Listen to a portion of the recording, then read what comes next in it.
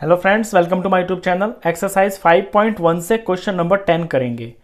Indicate which pairs of angles are ये figure आपको दिख रही है? इसके अंदर आपको ये दो एंगल्स इंडिकेट करने हैं कि वर्टिकली अपोजिट एंगल्स इस फिगर में कौन कौन है और लीनियर पेयर इस फिगर के अंदर कौन कौन है.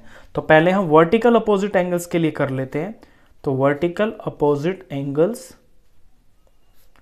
vertical opposite angles वो होते हैं जब दो लाइंस इंटरसेक्ट होती है ना, और बिल्कुल ऐसे एक्स जैसा बन जाता है। तो जो पूरी तरह से आमने सामने एंगल्स होते हैं, इन्हें हम वर्टिकल अपोजिट एंगल्स बोलते हैं। अब फिगर में देखिए, यहाँ पे ये लाइन ऐसे जा रही है, और ये वाली लाइन ऐसे जा रही है। तो ये जो वन और फोर है ना, ये बिल्कुल आपस में आमने सामने है, और इन्हीं दो लाइनों से कटने के बाद ये बने हैं। तो एंगल वन और फोर यहाँ पे वर्टिकल अपोजिट एंगल्स हैं। Angle one and angle four एक तो ये हो गई एक और मैं इसमें बताऊँ आपको कि इस लाइन पे ध्यान दीजिए, ये वाली लाइन ये हो गई और इसी लाइन के ऊपर। ये जो दो पूरी लेंथ की लाइन है ना, ये वाली और ये वाली, इसमें दो ही लाइन है जो पूरी जा रही है। इन पे फोकस कीजिए। तो एक पेयर तो वन और फोर का बन गया और दूसरा पेयर जो यहाँ है, ये फाइव का बन रहा है और फाइव के सामने ये दो एंगल मिलके जितना बड़ा एंगल बन रहा है ना ये फाइव के बराबर है। यानी एंगल फाइव अकेला and angle two plus angle three two और थ्री दोनों मिलके जितना एंगल बन रहा है, ये एंगल एंगल फाइव का वर्टिकल अपोजिट एंगल है।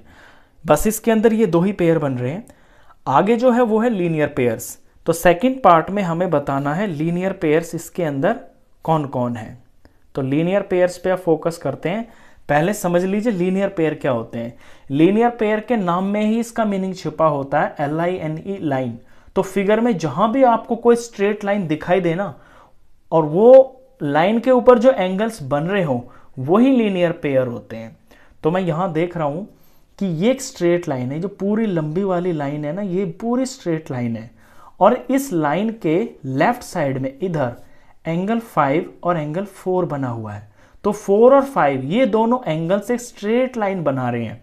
यानी कि ये दोनों लीनियर पेयर हैं। तो एक पेयर तो ये हो गया है, angle four and angle five. अब इसमें एक और दिखाई दे रहा है मेरे को, ऊपर की तरफ़ देखिए आप, ये वाली लाइन को लीजिए इस बार, ये जो बिल्कुल सीधी लाइन है, हॉरिजॉन्टल, ये सीधी लाइन जा रही है।